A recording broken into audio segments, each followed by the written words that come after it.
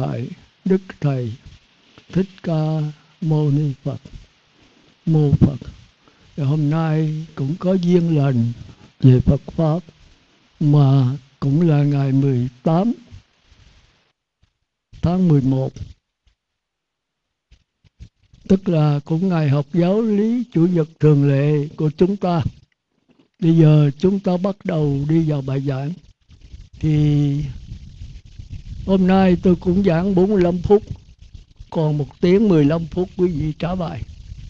Và tôi xin nhắc lại, chúng ta còn trả về ba bài mà giữa tư tưởng và bát nhã của các vị tổ thánh tăng với thánh tăng. Đó là huệ giác và quyền năng. Và thánh tăng với phạm phu. Đó là bồ đề đạt ma và lương do đế và giữa hai vị thánh tăng trao đổi nhau, chứ không phải là học hỏi nữa, mà trao đổi với cách giáo hóa như thế nào. Đó là giữa xá lợi phất và phú lầu na.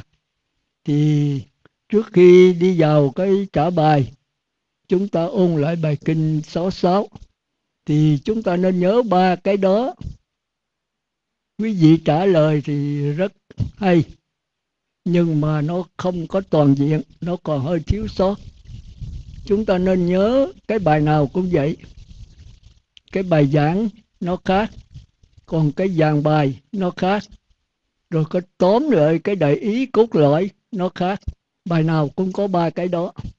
Nếu chúng ta là một vị pháp sư, một thầy giảng, thì chúng ta phải dựa vào cái dàn bài để giảng chi tiết có thể một tiếng, hai tiếng, ba tiếng, nếu có khả năng trình bày sâu nữa, thì đi vào chi tiết. Nhưng mà chi tiết rồi bỏ ra thì người nghe không nắm được. Người nghe không nắm được. Mình giảng bài rồi, mình phải tóm lại cái dàn bài. Rất là tương đối ngắn, gọn, đầy đủ. Để cho người nghe có thể nắm được. Và cái đó thì tôi thấy đây đa số sở trường và cái đó không? Còn cái bài mà dựa vào dàn bài để giảng chi tiết đó, thì có ông thiện khánh với cô như nhật là sở trường về cái đó. Cái đó cũng khó giảng à mình phải có một số vốn giáo lý chi ly mình có thể giảng nó rành cho người ta. Nhưng mà sau khi buông ra mình không nắm không tóm được cái dàn bài thì mấy người sơ cơ là không hiểu được cái gì hết. Có nhiều người than với tôi về vấn đề đó. Thành ra tôi mới nói là thôi bây giờ chia ra học. Chừng sáu bảy người, hướng, một người hướng dẫn sáu bảy người thôi. Chứ hướng dẫn cái ba bốn chục người thì có người đến nghe ông Trần Khánh than là cô con không hiểu gì hết tôi nói sao không hỏi? Nó đông quá tụi con không dám hỏi. Mà hỏi trả lời như vậy cũng chả hiểu gì hết. Phải hỏi mà hỏi tay đôi á, tức là như ờ, Na Tiên Tỳ Kheo với vua Mi Đà nhé thì chúng ta mới có thể đi sâu vào được. Thì cái này học là để rồi chúng ta nghiền ngẫm rồi mới trao đổi nhau được. Rồi mới thực hành trong cuộc sống thì mới thành Phật được. Thì cái đó là cái quan trọng. Theo trong bốn mươi mấy năm nay tôi tha thiết vì vấn đề thứ nhất là ích lợi đắc quả cho tôi, sau là cho tất cả phật tử. Nhưng mà cái khó khăn của tôi đó là tôi muốn quý vị thành phật à chứ không muốn thành trời nữa. Thì cái giáo lý thành trời nó đã lâu rồi. Nó đã thâm căn cố đế trong ai lại gia của chúng ta tức là tu là phải cải sửa, phải có pháp môn, phải có thời gian, phải có lai rai, phải có đạo sư phải có điều kiện. Thì cái đó là có từ xưa giờ sáu mươi tôn giáo ngoại đạo, thời thái tử si đạt ta giờ trước kia và ngay bây giờ cũng vậy và mãi mãi về sau tôi thấy cũng vậy thôi. Cái đó kêu là cái tập khí, khổ là do tập mà tập muốn chấm dứt nó thì không thể chấm dứt được. Muốn chấm dứt cái tập là cải sửa cái tập cao hơn. Thế là vẫn lẫn quẩn trong dần tập đế thôi. Tức là cái thói quen. Cái thói quen của chúng ta. Chúng ta thói quen là cái gì à? Ác là sửa thành thiện xấu sửa thành tốt, quấy là sửa thành phải tu là phải có thầy. Không thầy đố mày làm nên.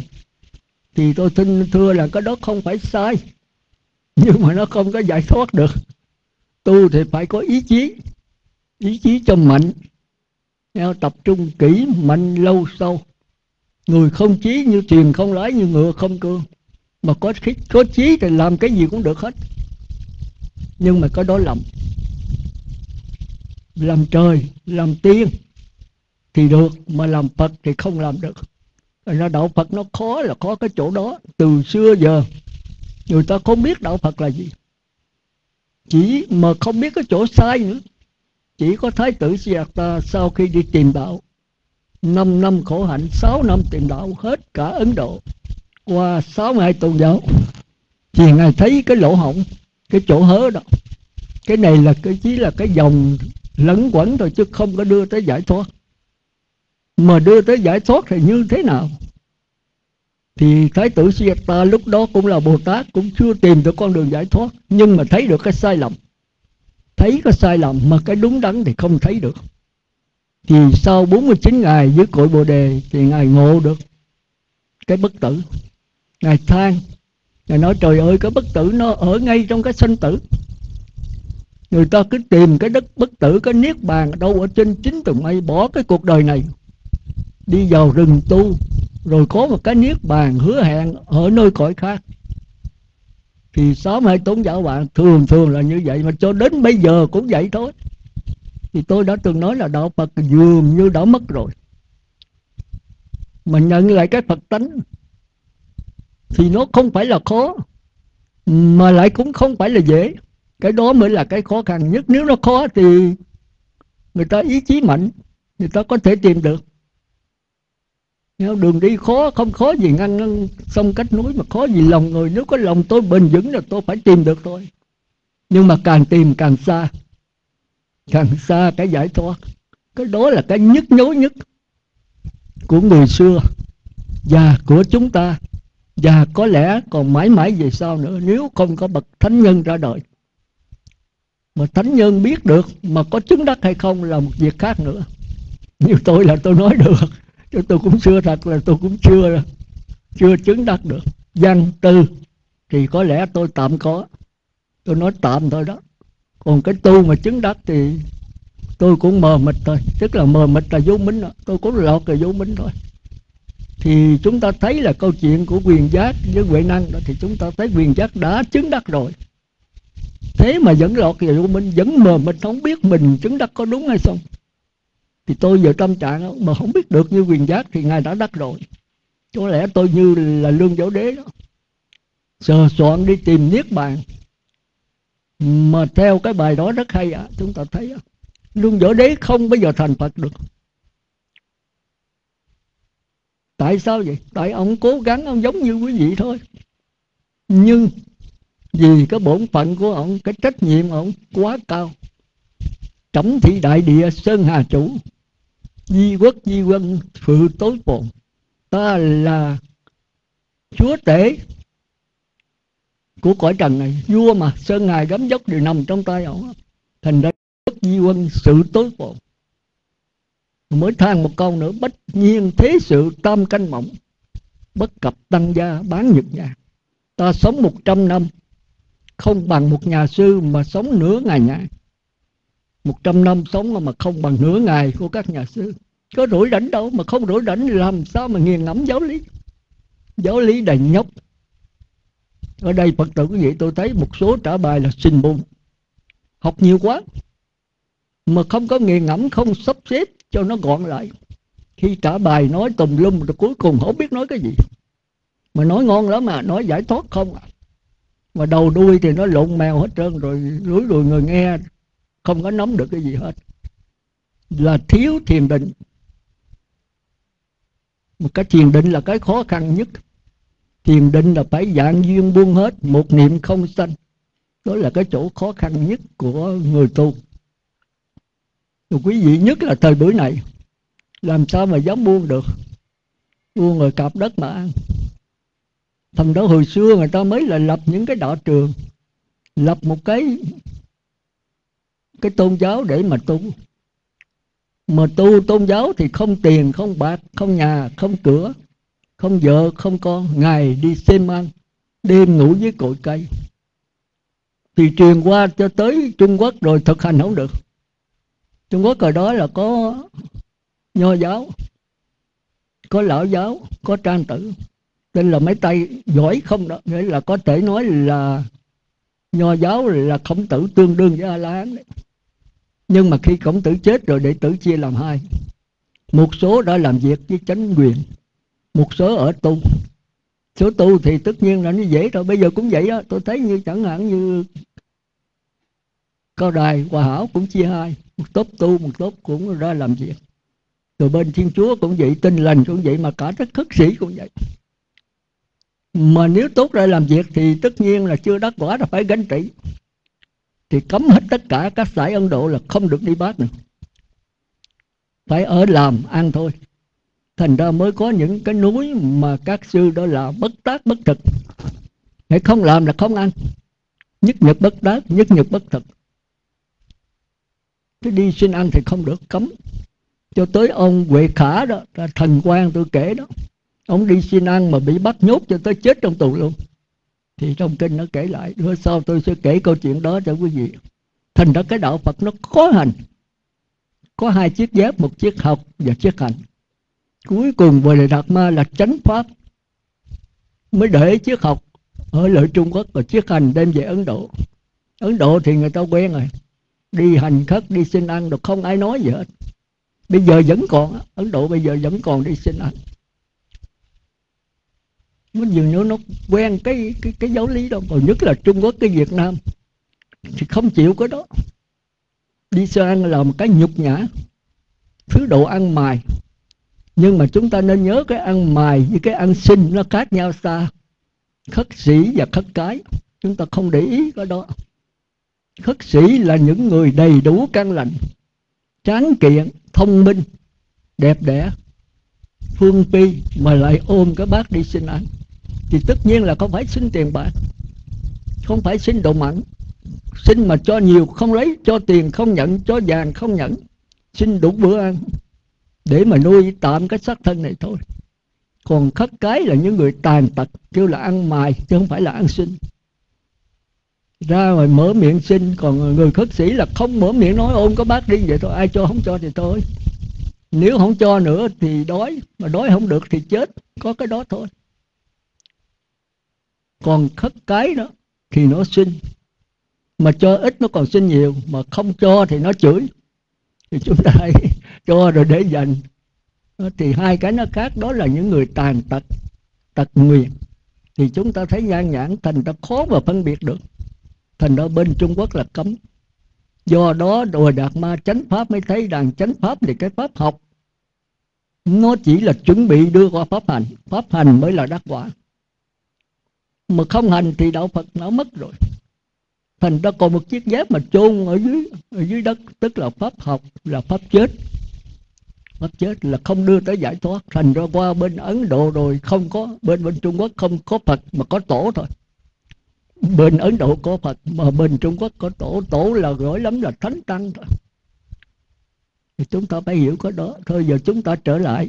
Vậy thì khi trả bài một vài lần nữa tôi thấy nó tạm đủ thì đã qua hết rồi. Bây giờ tôi kêu một số mà giỏi gạo cội để trả lại thì quý vị phải chuẩn bị. À, cái này trả là khó không có cầm giấy mà lên ngồi giữa này nữa. Để tôi giới thiệu cho một số mới. Có một số phật tử mới thọ giới mà không có giáo pháp gì hết. Cứ than với tôi đi nghe không hiểu gì hết. Tôi nói là số đông làm sao hiểu sao không hỏi nói không dám hỏi còn thánh giảng tôi vô, tôi nghe đó là ba bốn chục người đó tôi làm sao dám hỏi? Mà nếu hỏi thì cũng hơi tự ái nữa. Mà trả lời thì đông gì cũng trả lời trung trung thôi. Cũng như đây quý vị hỏi là tôi trả lời trung trung thôi. Nhưng mà gặp tôi á, là tôi dí thẳng à. Tôi hỏi lại, rồi từ đó tôi mới đi sâu vào. Tôi hãy trả lời với tôi là tôi biết cái trình độ. Thành nó nó khế cơ, khế lý. Như hỏi pháp hội này thì tôi cũng trả lời trung trung thôi thành ra tôi thấy học mà chừng năm bảy người là hay. Năm bảy người là hay. Rồi thì cô trấn có nói tôi đi học, có năm bảy người rồi thì con hiểu rồi chỗ đó rồi con không có hiểu. Đi trong trường cánh con nghe ba bốn lần con không có hiểu cái gì hết. Thế mà học riêng con thấy hiểu mà cái đó tôi thấy rất hay. Rồi trò pháp đó thì dạy học cũng vậy, sáu bảy chục học trò. Sao qua tới mỹ một lớp có mười mấy người à? Giữa thầy trò nó có một sự trao đổi rất là kháng khích và cái giờ không biết là mình hỏi dạng lắm. Rồi thì tôi cũng mong cầu Phật tử nào có một số vốn mà tôi thấy á, theo cái hiểu biết của tôi tôi giới thiệu lên thì một số nào mới thấy hợp thì có thể mình sẽ học chừng bốn năm người thôi. Ờ, thì quý vị sắp xếp cho học. Ờ, hoặc là ở ngọc uh, dân đây thì ba năm bảy làm thiện khánh còn hai bốn sáu là trống. Còn uh, như cô như đất gì đó ở đằng thiền minh đó thì cũng chỗ giảng và ngọc trường nữa? Đó thì chúng ta cố gắng học. Để chúng ta làm sao có cái hiểu biết. Thì theo đạo Phật, cái hiểu biết đó chính là trí tuệ. Mà hiểu biết đúng đắn à hiểu biết giải thoát à chứ không phải biết người trời. Thì ở đây tôi giảng là tôi giảng pháp môn giải thoát rồi ra tôi mới lựa giữa cái tư tưởng quế độ và cái bát nhã, tịnh độ giải thoát để cho quý vị trạch pháp, quý vị lựa chọn, quý vị nhận được mà dĩ nhiên là nó cao. Những người nào mới là không nhận được đâu. Thì học trao đổi với mấy người người ta đã đi lâu trước. Thì thôi, đâu có bấy nhiêu thôi. Bây giờ chúng ta đi thẳng vào bài kinh số 66 rồi quý vị trả cho tôi nha thì quý vị trả, quý vị mới thấy là hơi mệt. Nhưng hôm qua là tôi kêu ờ, liên hiếu rồi nó trả, nó thở không ra hơi. Mặt xanh lè. Mới biết rằng tôi nói hai ba tiếng mà nó nói nó nói đâu có 40 phút ba mấy 40 phút. Nó nói hết trời hơi nó cầm cái ống micro mà nó muốn rớt nó mặt xanh lè hết trơn. Thì thấy là giảng không phải dễ đâu. Nó mệt lắm chứ không phải là dễ. Thì bài kinh 66 này quý vị học thuộc lòng nhá hôm trước có học rồi, bây giờ học lại. Thì phần thứ nhất là phần dẫn nhập sáu chứng đó, tôi đã nói rồi. Thì mình học ra vào một thở nọ, thì mà thời gian cũng y trong này đó hay không? Rồi tới phần thứ hai là trình bày kinh 66 thì cái này quý vị phải thuộc nằm lòng á. Cái này là la hán mà như lai luôn á, nhập lưu luôn. Nhất dẫn lai mà địa ngục ngạ quỷ đủ trong này hết, nghe không?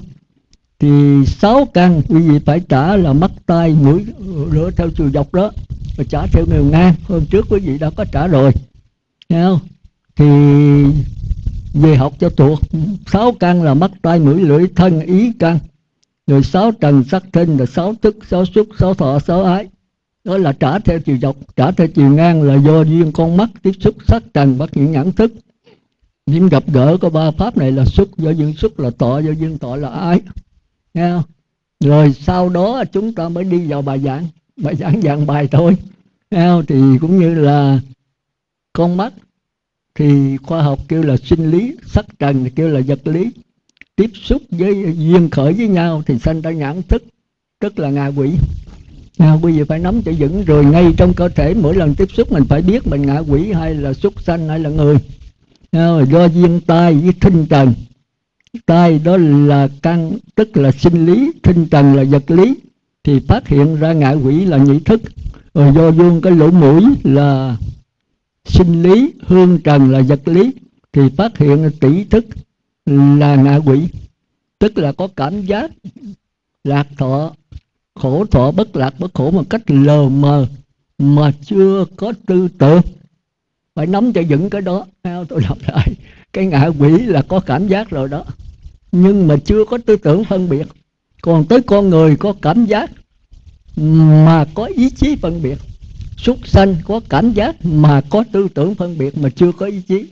Cái này là cái đặc, cái độc đáo của duy thức của đạo phật. Mà tôi mấy chục năm tới bây giờ tôi mới thấy sáng tỏ. Thành ra bây giờ đa số quý vị đi hỏi các vị pháp sư, giữa nhân quả và nghiệp khác nhau làm sao? Không ai trả lời rành hết đó thì ở bạc liêu hôm trước đi nghe pháp sư giảng, xuống nói trời trời giảng trật lắc ở trơn xưa nhân quả mà nói là mình đi lính mà vì bất gia, mình giết người thì không có nghiệp. Tôi nói chết rồi thành ra giảng một cái sai là nguy hiểm. Chúng ta nhớ câu chuyện ở trong mà cốt tủy đạo phật đó có một cái ông uh, trụ trì đó ông trụ cái chùa đó. Rồi bị đệ tử hỏi một câu bạch thầy bậc đại tu hành có lạc nhân quả không? Thì ông thầy ông sư trụ trì đó nguy hiểm. Ông nói bậc đại tu hành bất lạc nhân quả thì ông đọa thành con cáo già 500 kiếp mà chưa mang được thân người. Cái câu đó nó cứ nó cứ dướng dít ổng hoài. Nó cứ làm cho ổng khổ sở hoài. Mà ổng mở câu đó được ổng biết câu đó nó sai. Mà câu đúng là như thế nào? Ổng cứ trăn trở mãi cho tới năm kiếp mang thân con cáo già, tức là con chồn đó. Thì sau này cái ổng ở sau núi á, ổng tu cũng như là con trùng thành tinh đó mà, ổng quá hiện người. Ổng đi nghe pháp. Thì sau tới ông ờ, ông gì đó, tôi quên rồi, cũng về trụ trì ở này đắc quả đấy. Tức là nhờ bất tác bất thực đó. thì ông về đó trụ thì sau khi ông giảng thời pháp rồi thì có một ông già còn ngồi lại. Thì ông nghi, ông hỏi, này cụ già, này lão, sao tăng đồ người ta xuống hết lão còn ngồi đây, có nghi ngờ gì không? Nói, tôi có nghi. Năm kiếp về trước tôi trụ trì tại chùa này. Bây giờ ngài mới trụ trì sao tôi. Tôi bị đệ tử hỏi một câu mà tới nay tôi không có cởi mở được. Tôi vẫn mê mờ. Thì nói giờ ông hỏi đi. Nói, hỏi tôi bậc đại tu hành có lạc nhân quả không? Tức là có rớt vào nhân quả không? Tôi nói, bậc đại tu hành không lạc nhân quả mà câu đó làm tôi thắc mắc trăn trở tới nay mà tôi cũng chưa sáng tỏ. Giờ đó tôi không có thoát kiếp trùng được. Ngài cho tôi một câu để tôi thoát cái xác trùng này tôi làm người, để tôi tiếp tục tu. Thì ông đạo nhất ờ, mới hỏi bây giờ ngài lặp lại đi. Thì mới nói là đặt bậc đại tu hành có lạc nhân quả không? Ông nói bất muội nhân quả. Chỉ có bất lạc với bất muội không? Là ông này hiểu liền. Ông quỳ xuống ông lại, bây giờ tôi thoát kiếp trộn ngày mai xin với thiền sư, pháp sư ra sau núi này có cái xác con trồn đó. Ngài chôn theo cái tư cách của nhà tu cho tôi. Tức là theo theo chung theo tăng đó, chứ không phải theo theo lời thú. Thì sư trụ trì chấp nhận, đạo nhất chấp nhận. Thì sáng đạo nhất cho hay là có một vị tăng chết. Thì ở trong viện niết bàn người ta ngỡ ngán đâu có ai chết bạch thầy nói có, mấy ông đi theo tôi ra đây chôn một cái xác của nhà sư, đã mất hồi hồn. Thì ra thì ông nghe cái sao cho đó, ông đào lên thì thấy có cái xác con trồn đang nằm chết quéo đó. Thì mới chôn theo lễ an táng của các nhà sư, các bạn. Rồi thì chúng ta thấy là cái pháp lý nó khó lắm. Hiểu sai một cái là nó cứ dằn vặt mình hoài. Cái lương tâm mình nó cắn rứt, nó không có yên được thì cái lao sau này nó đem mang cái thân con trồn cáo già. Cáo già là con hay nói dối. Khi nào mình nói cái gì nó phải sáng tỏ, phải cho rõ ràng. Phải cho thực chứng. Thành ra biết bao nhiêu người bây giờ giảng sai về vấn đề nhân quả và nghiệp. Tôi đi các nơi cũng thấy vậy là hỏi vì nhân quả là gì, và nghiệp là gì. Khi nào mới có nghiệp? Thì chúng ta thấy là tôi đã giảng qua mấy lần mà tôi hồi đó cũng thăng trăn trở và tha thiết về vấn đề nhân quả và nghiệp. Nó có rất là khó hiểu, rất là khó hiểu. Tới chừng gặp bài kinh 66 này 15 hạng chúng sanh thì chúng ta mới hiểu rõ, mới hiểu rõ. Và tất cả cái sự tu chứng, rồi chúng ta sẽ thấy từ mà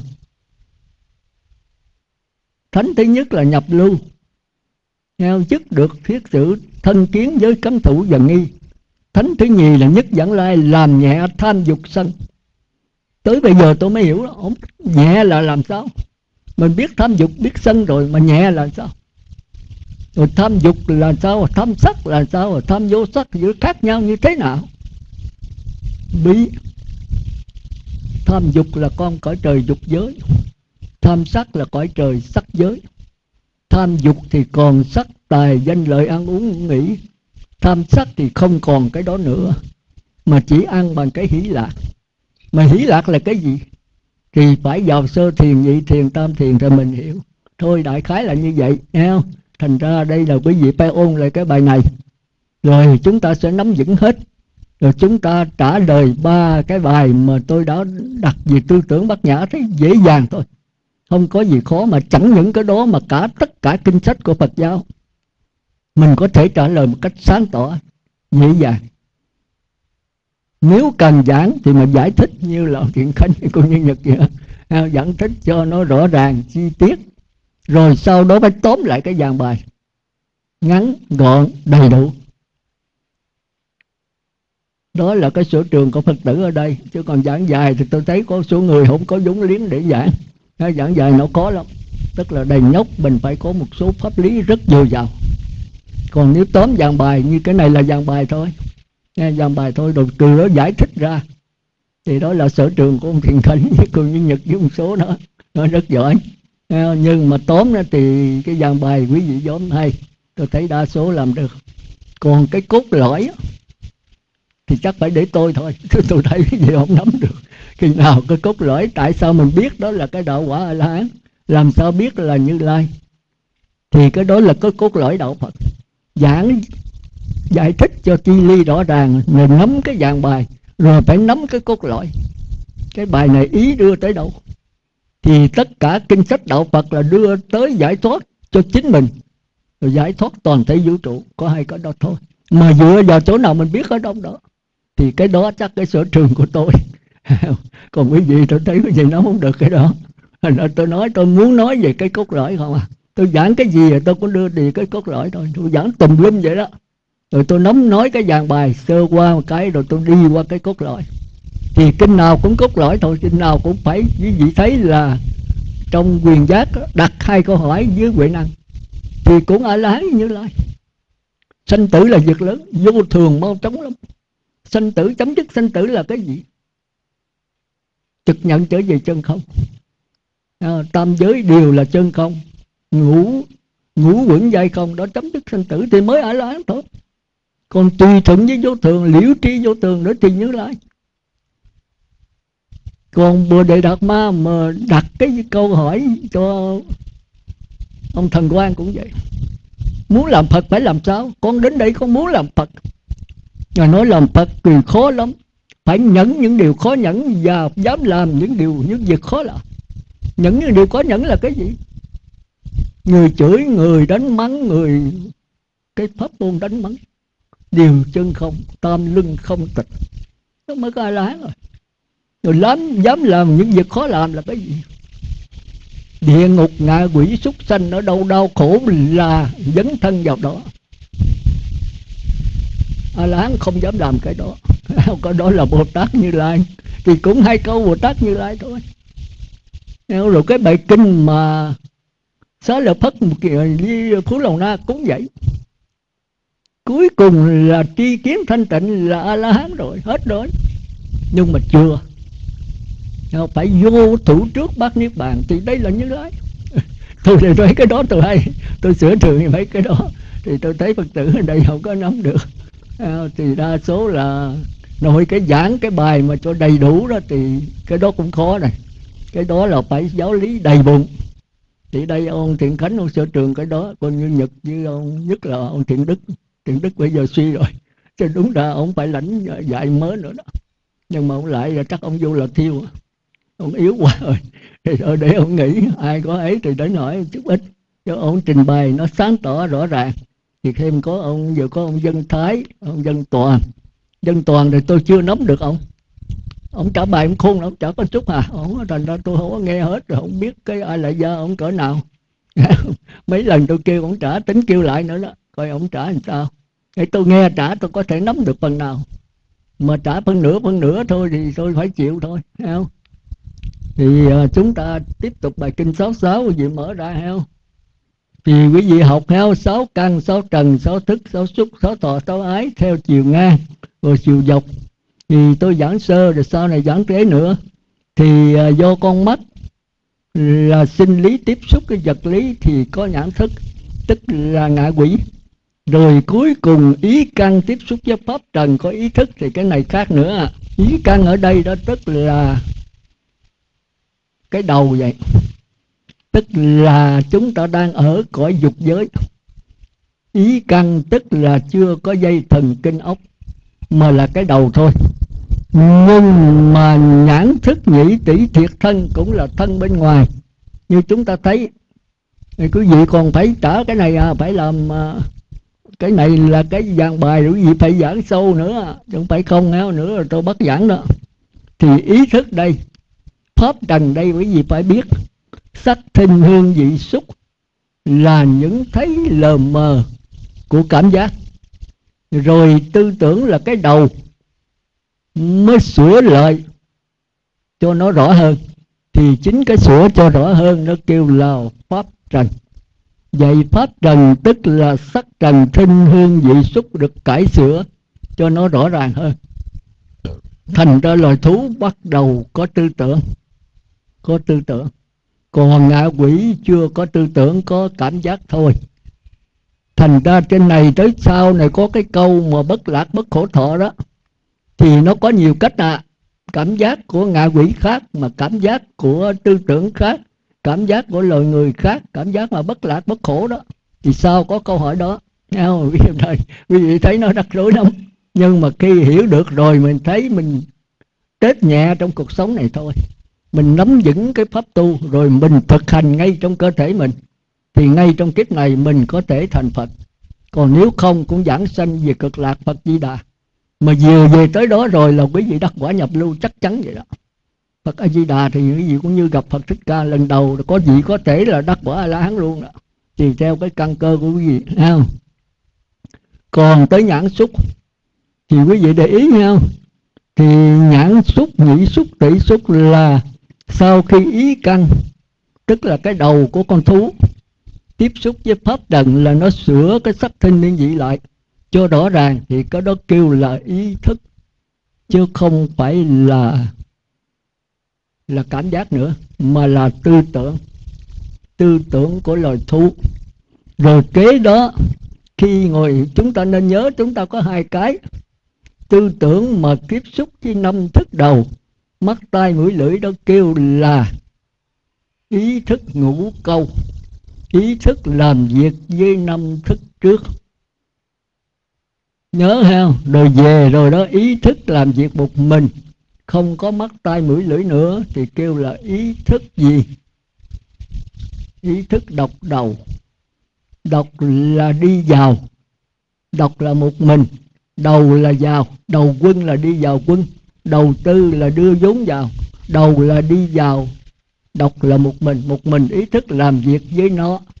Tức là chúng ta thường tu là hồi tưởng nhớ lại. Nhìn nhớ lại cái này nguy hiểm, độc đáo đó. Nó suy nghĩ, nó thấy rằng con thú sửa thành tư tưởng chưa có chưa có ổn. Mình phải thăng qua lên nữa. Thì quý vị ngồi thiền 2 tiếng 3 tiếng 4 tiếng, trong lặng lẽ quý vị sẽ thấy thì cái thức mình trong sáng bắt đầu có mặt na. Tức là có ý chí, tức là có thức thứ bảy. Thức thứ bảy mới là cung cấp chất liệu cho tư tưởng. Tư tưởng mới sửa lại thành ra ý xúc. Ý xúc tức là có mặt na rồi đấy. Mặt na là cái bít tông, để nó làm cho tư tưởng dồi dào.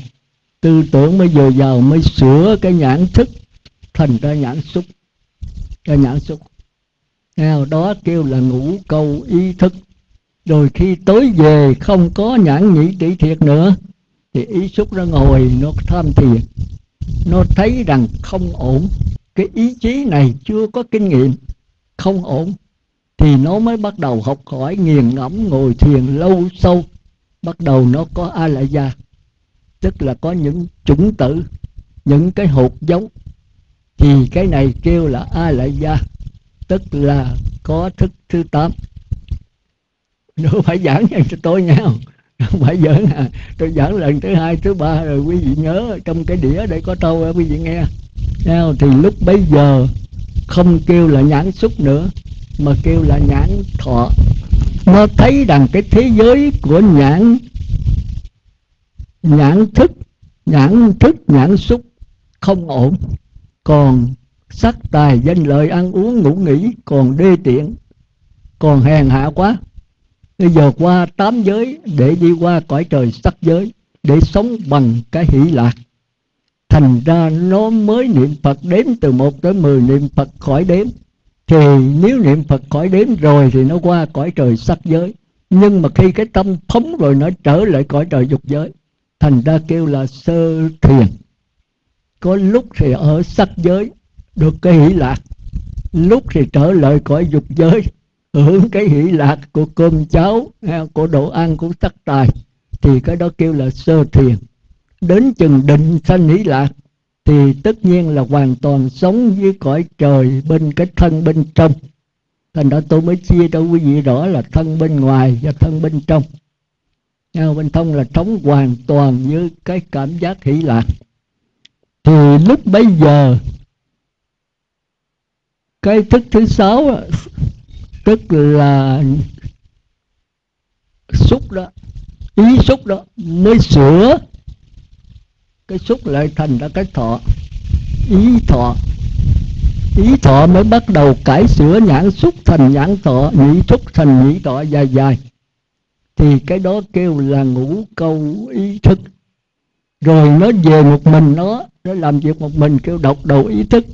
Nó thấy là nhãn thọ cũng không ổn. Không ổn. Thành ra cái ý này độc đáo lắm có lúc thì nó làm việc cái năm thức đầu. Rồi khi nó về, nó ngồi hồi tưởng lại, nó thấy là không ổn.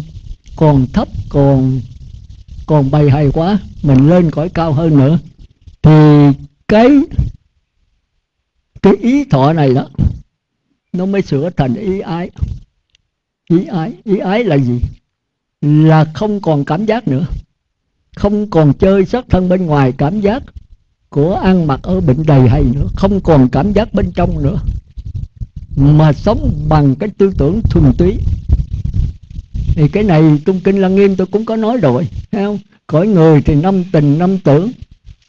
Rồi cõi uh, cõi uh, thú đó xúc atula đó thì sáu sáu tình mà có bốn tưởng là thành ra bày hay. Rồi tiến lên cõi trời dục giới thì tới sáu sáu tưởng mà bốn tình thì con người thường thường làm mười việc thì thành công hết sáu, thất bại hết bốn.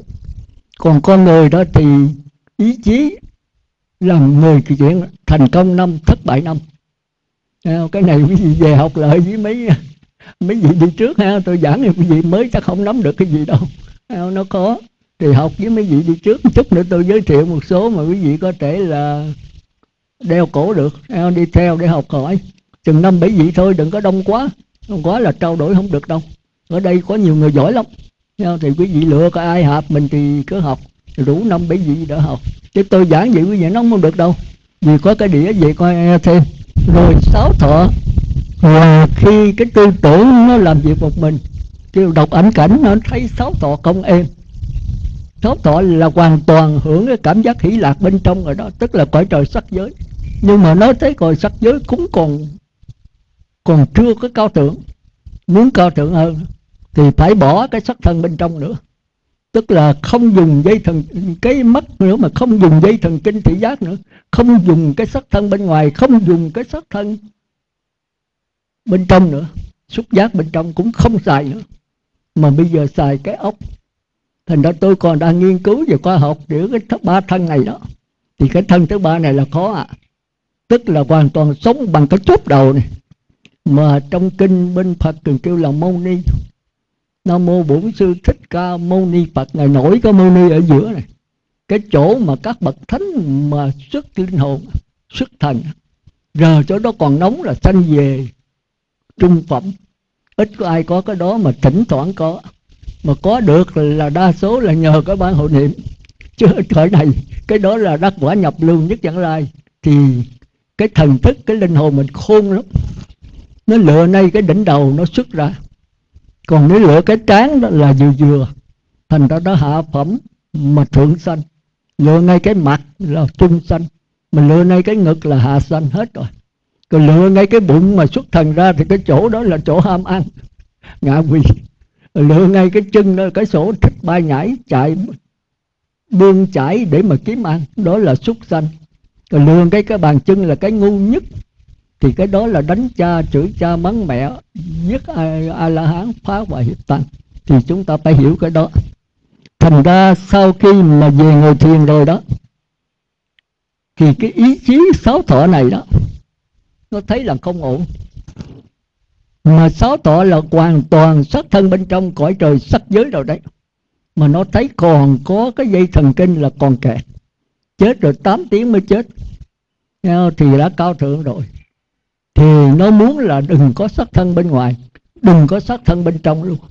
Thì nó sống với tư tưởng, đây là 10 phần 10 tư tưởng. Chúng ta nên nhớ người đó, năm tình năm tưởng cõi trời dục giới là sáu, bốn tình, sáu tưởng.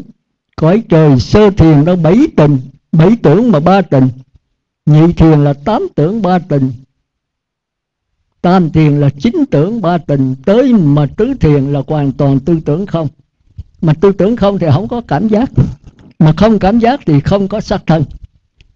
Thì học khéo hỏi lời mấy mấy vị đi trước đó, ráng mình siết họ kêu họ trả cho nó đúng không? còn không thỏa mãn nữa thì kiếm tới tôi đó là ý thọ thành ý thọ nó thấy không ổn nó mới muốn sống về cái cao thượng nhất mà cao thượng nhất là sống bằng cái mông, mông lung của tư tưởng bây giờ nó mới tưởng tượng rằng xuất thân nó là hư không quý vị muốn biết hư không đó thì quý vị ra ngoài biển đó quý vị, ngồi cái, dòm cái chân trời ngoài biển đó, thì quý vị thấy hư không?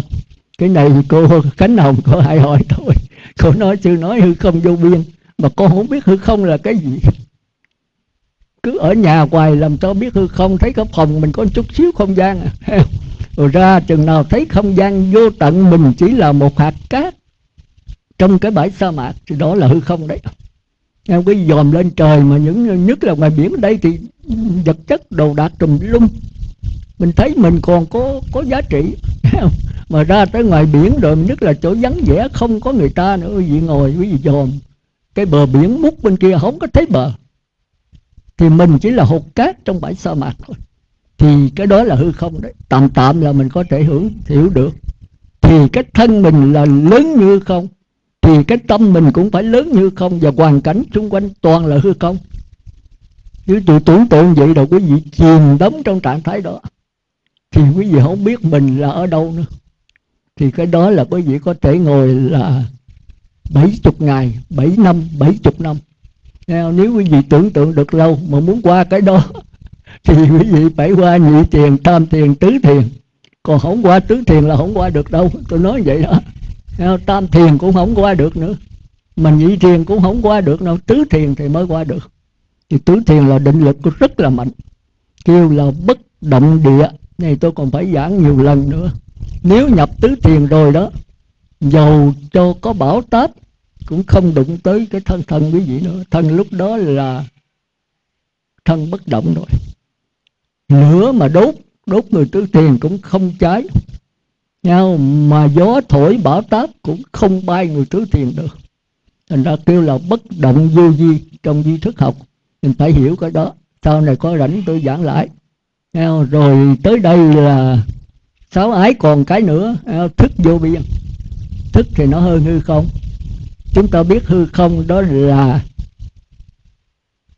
thức là vô lượng vô biên. Tức là tôi thường thí dụ là cái dòng nước. Dòng nước thì bao la đứng lặng mà chuyển biến. Mà khi mà nó hơi sao động một cái rồi, thì nó thành hư không rồi hư không mà dừng lại thì thành thức vô biên. Thức vô biên tức là linh hồn của chúng ta vậy, thành thức đấy. Chúng ta phải hiểu. Cái này quý vị hỏi là những người đi trước tôi có giảng nhiều lần rồi nhất là tiền cánh, thì ông sở trường về cái này lắm. Để hỏi ông kêu ông giảng coi. Rồi ông phải tóm dùng. Ông giảng bao la thì hay lắm, mà tóm lại thì nó khó. Thức vô biên tức là linh hồn của chúng ta. Rồi cao hơn thức vô biên nữa là vô sở hữu sở xứ. Đây là niết bàn tịch tịnh của a la hán đấy. Nhưng mà tư tưởng nó tưởng tượng thì niết bàn là niết bàn giả. Mà soi niết bàn thiệt, quý vị phân biệt không được đâu. Thành ra một vị mà nhập tứ thiền rồi tưởng tượng hư không vô biên, thức vô biên, vô số phi phi tưởng. Quý vị không có nhận được cái nào là thiệt, cái nào là giả. Tôi thường nói hai ly nước đó. Ly nước có cạn cáo, ly nước mà đã lóng trong rồi mà khi hai ly nước để gần nhau, thì quý vị không phân biệt trong như nhau. Nhưng mà khi đụng cảnh á, khi mà có ai chửi mắng hay là sao động nhiều quá, thế giới nó bắt đầu nó nổ xẹp này kia đó, thì cái ly nước đục mới biết nó là đục. Quý vị lắc rồi thì cái ly nước có cản cáo phải đục ngầu. Còn ly nước đã lóng trong rồi, quý vị lắc tới cách mấy nó cũng vẫn trong thôi. Thì cái trong là thứ a la hán thiệt. Còn cái mà lắng cộng cho nó trong, đó là a la hán dỗm nó giống hệt thôi. Thành ra thuộc về ngũ ấm ma. Nhích một chút là ngũ ấm ma. Nếu chúng ta không học giáo pháp cho vững, thì chúng ta dễ lọt vào ngũ ấm ma. Thôi đại khái là như vậy ha thì tới đây là hết rồi đó. Tới đây là hết tam giới. Nha thì kỳ tới tôi giảng lại nữa. Rồi chúng ta phải học qua cái phần thứ hai. Cái bài nội bài, giảng bài nó cũng dễ thôi, nhưng mà với học cho thuộc. Ờ, trả cho nó tôi thấy cái này mỗi người phải mỗi trả đấy. Mỗi người có một cái bản. Phần thứ hai là kinh sáu sáu là vô ngã.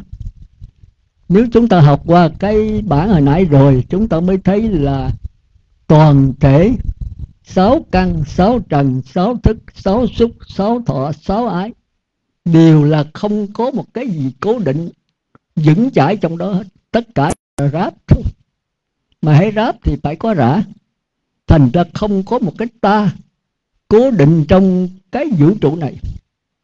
Một vị a la hán phải thấy rằng chính mình không có gì hết. Rồi một vị như lai bồ tát thánh, thì thấy là không có gì hết và vẫn có dài dài. Anh hỏi cái này tôi mới nhớ tới cái vụ hôm cô nào hỏi đó. Thì tôi muốn cái cô đó biết nay có đi không à? Cô nó không phải, con hỏi, mà con đưa dùm thôi con đưa dùm thôi mà câu hỏi rất hay. Nhưng mà tôi coi tới cái pháp danh rồi thì tôi vẫn ốc á. Tôi giật mình á. Tôi nói chừng là có bồ tát quan âm lợi thử mình. Ờ, có thánh nhân là vô đây nghe pháp. Cổ hỏi gì chứ mặt na, có căn có trần không sư, có phù trần căn có tịnh sắc căn hay không? Mặt na, tức là thức thứ bảy, có phù trần căn có tịnh sắc căn hay không? Thì cái này quý vị phải trả lời, tôi đã giảng rồi. Rồi câu thứ hai là căn trần và thức của mặt na là gì? Xin sư giải thích mà giải thích cho cho rõ ràng, cho chi lý chả còn rõ ràng mà chi lý nữa. Tôi không biết cái gì đi làm sao. Thì tôi muốn gặp bồ tát đó mà không biết có cho tôi gặp không để coi là cổ hỏi thử chơi hay là cổ học hỏi thiệt. Thì cái đó giao cho cô như nhật, con tiền khánh rồi đã trả lời được. Mấy cái đó là mấy cái chi tiết sâu thì phật tử mới cho không biết đâu. Rồi sau này qua bài kinh 66 sáu gì trả lời dễ dàng thôi. Tôi thì không muốn trả lời trước, muốn cho quý vị có cái chất liệu. Rồi mỗi người phải suy nghĩ. Thì hai câu câu thứ nhất là mạt na. Có phù trần căn, có tịnh sắc căn không? Thì sáu thức. Tôi muốn năm phút đủ rồi đó sáu thức đều có phù trần căn, có tịnh sắc căn. Mà thức thứ bảy có hay không? Nếu nó là phù trần tịnh sắc thì nó là cái gì? Câu hỏi ý đó rất hay. Còn bây giờ, căn trần thức, sư nói ở trên kia có căn, có trần, có thức, sáu cái đều có hết. Vậy thì thức thứ bảy có căn, có trần, có thức không? Mà nếu có thì nó là cái gì? Ở đây bài kinh sáu sáu chúng ta thấy là có sáu căn, sáu trần, sáu thức, chứ không có bảy căn, bảy trần, bảy thức vì đại thừa duy thức là có thêm có cái đó thì mọi pháp môn mới sáng tỏ. Mà chúng ta nên nhớ để nói tới ái rồi là phải có thủ có hữu nằm trong đó. Nếu không thủ hữu là không có ái được. Thành ra cái bài 12 nhân viên lại có. À, vô minh hành thức danh sắc lục nhập xúc thọ ái. Đây tới ái là hết. Mà ái thì đi tới thủ đi tới hữu. Mà tới hữu thì mới có sanh tử nữa còn không có hữu hữu là ai lại ra thì sao tôi sẽ nhãn về thập nhị nhân viên trở lại? Khi trình độ quý vị đã tương ưng. Đó, thì tôi đã hết giờ rồi. Thì chúng ta coi lại trong này để chúng ta chuẩn bị cách trả lời. Câu số 3 66 là vô ngã. Tức là 36 pháp là vô ngã. Thì trong đây có nói nếu nói 36 pháp là tự ngã tức là chân như đó thì không hợp lý. Tại sao vậy? Vì sự sanh và diệt của 36 pháp đã được thấy vậy ngã chân như là sanh diệt do đó không hợp lý. Thì chúng ta phải giải thích cái này. Cái này kêu là giảng bài đấy. Quý vị phải học thuộc lòng trả. Rồi nhờ ông Thiện Khánh hay ông Dân Toàn, ông Dân Tái như Nhật gì đó giải, giải thích cho nó sáng. Không? thì sau này tôi cũng giải thích nữa. Nhưng mà nghe trước đi thì nghe tôi nó dễ hiểu chứ còn không có chuẩn bị trước nghe tôi chắc không hiểu nổi đâu cái bài kinh này là tôi giảng gần nay gần ba chục năm rồi đó. Bây giờ giảng lại nữa. Rồi cái số 4 sự tập khởi và đoạn diệt thân kiến của 36 pháp. Nếu ai quán 36 pháp là tôi, là của tôi, tự ngã của tôi, sẽ tập khởi thân kiến. Nếu ai quán 36 pháp trên này đó là là chính mình, là bất tử, là chân như, là cái chân ngã của mình thì tập khởi thân kiến. Tức là bắt đầu đi vào cuộc luân hồi sinh tử đấy. Còn nếu ai quán 36 pháp là không tôi không của tôi không tự ngã của tôi thì đoạn diệt thân, thân kiến tức là bắt đầu chấm dứt luân hồi sinh tử. Nào thì chúng ta phải trả lời tôi của tôi tự ngã của tôi là cái gì? Thì cái này tôi có giảng rồi. Thì quý vị thấy tôi của tôi thì dễ thôi ai cũng giảng được hết đó. Còn cái tự ngã của tôi thì tôi thấy không có học giả nào dám giảng. cứ bỏ bỏ hoài. Thì cái tự ngã của tôi, quý vị phải giải thích và cho thí dụ. Cho thí dụ. Rồi tiếp theo. Thứ năm là sự tập khởi và đoạn diệt tham sân si. Thì do duyên sáu nội xứ, do duyên sáu ngoại xứ, phát khởi sáu thân thức. Điểm gặp gỡ ba pháp này là xúc, do duyên xúc là thọ, do duyên thọ là ái. Thọ có ba thọ lạc thọ khổ thọ bất lạc bất khổ. À, thì mình cái bài trên này có nãy tôi có đọc đó. Bây giờ tới đây bắt đầu có câu hỏi. Tập khởi tham sân si. Nếu ai cảm xúc với lạc thọ mà quan hỷ tán tán trú ở ái trước thì tham tùy miên của vị ấy sẽ tùy tăng nếu ai cảm xúc với lạc thọ tức là cái vui đấy. Mà quan hỷ tán tán trú ở ái trước thì tham tùy miên sẽ tùy tăng thì chúng ta phải cho thí dụ lạc thọ là gì hỷ quan hỷ là gì tán tán là gì trú ở là gì ái trước là gì thì phải giải thích. Nhưng mà cái này trong 15 hạng chúng sanh thì quá rõ rồi. Hôm trước chúng ta có học về cái à, uh, 15 hạng chúng sanh đó. Thì tôi giải thích sơ quý vị về coi lại nếu ai cảm xúc với lạc thọ mà quan hỷ, tán tán trú ở ái trước thì tham thì miên sẽ tùy tăng thì chúng ta biết lạc thọ là là tam thiền. Theo ly hỷ, chú xã thân cảm sự lạc thọ mà các bậc thánh gọi là xả niệm lạc trú chứng và trú thiền thứ ba. Cái gì phải học thuộc cái đó. Theo thì biết lạc thọ là của tam thiền. Mà khi mình cảm xúc cái đó, mình thích thú nó thì sa đọa xuống hỷ hỷ là nhị thiền định sanh hỷ lạc. Nha, mình nên nhớ chỗ đó. Rồi nếu mà chiếm hữu cái hỷ nữa thì cái thức của mình nó bắt đầu ngu tối nó trở xuống cái sơ thiền.